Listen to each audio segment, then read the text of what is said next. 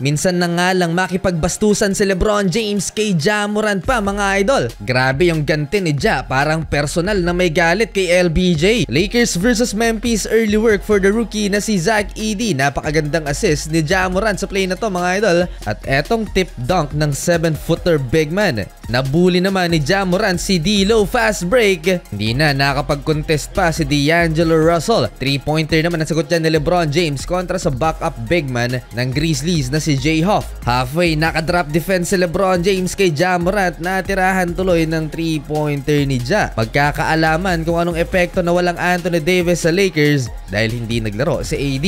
Natapos ang first quarter lamang ng 8 points ang Memphis Grizzlies 35-27. Second quarter, ang matandang si Lebron ang nagbubuhat sa LA Lakers. 5 early points for LBJ sa pagsisimula ng second frame. May nakainita naman si Ja Morant, si Cam Reddish na may angas din mga idol, hindi tinigilan ni Cam Reddish mga idol si Ja. Nakipagpalitan din ng trash talk. Nagsimula ang lahat dito sa pisikalan nilang dalawa kung saan natumba si Jamorant well take over mode si LBJ so far may 17 points na si Lebron at nagkasunod pa ang kanyang puntos last 4 minutes ng first half. Eto Lebron James hanging in the air for 2 point layup. Last 2 minutes eto ang ganti ni Jamorant kay Gabe Vincent and one basket at nag too small mga idol sa point guard ng Lakers. After niya knockout si Jamoran kay Lebron James bunk shot. Gumanti din ng too small si Lebron. Mas malala ito dahil umapir pa sa court sa LBJ. After niyan hindi na nirespeto ni Jamoran si Lebron James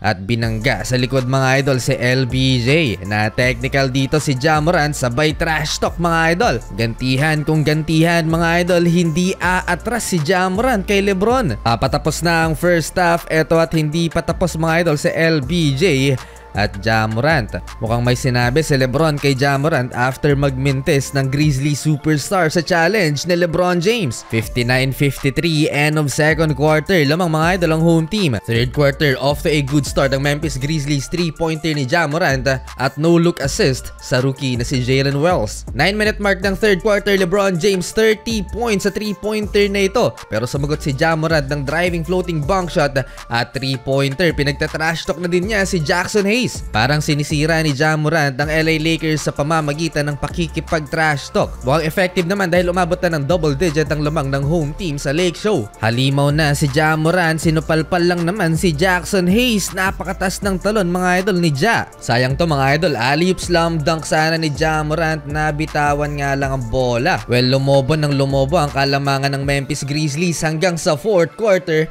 at umabot pa ng 20 plus points ang lamang ng home team. Down the stretch dahil malaki ang lamang ng Memphis Grizzlies, pinasok na si Bronny James mga idol. Sa huli, panalo ang home team.